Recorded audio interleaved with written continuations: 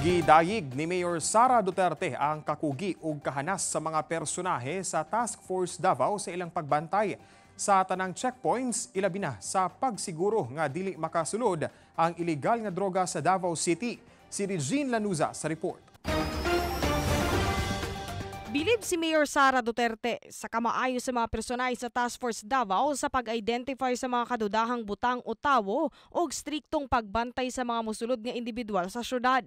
Gawa sa pagsiguro nga walay makasulod nga ilegal nga droga, gidayig sab niini ang kahanas sa tropa sa pag-identify sa mga traveler nga gikan sa National Capital Region.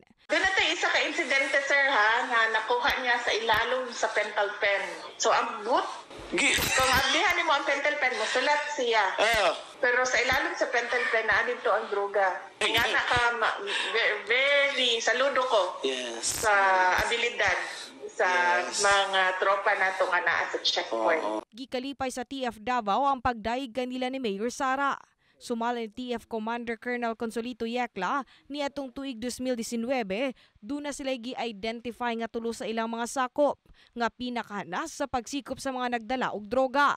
Gikuhaan nila kini og suhestyon ug nakamugna sila og sistema og proseso nga gitudlo sa uban pa nilang sakop sa pagbantay sa checkpoint aron daling madakpan ang magpasulod og droga. Sukad nga ila kining gipatuman, mas daghan na ang ilang nadakpan. Of course, Davao will uh, continue its uh, uh, effort in uh, addressing yung pag-prevent pala ng uh, pagpasok ng terrorism and uh, yung pagsuporta sa city government at saka national government in our efforts to prevent the proliferation of illegal drugs in the city. Pinakauling nadakpan sa Task Force Davao checkpoint ang usa ka lalaking driver og sports car. Human wala mihunong sa checkpoint niadtong Abril 7.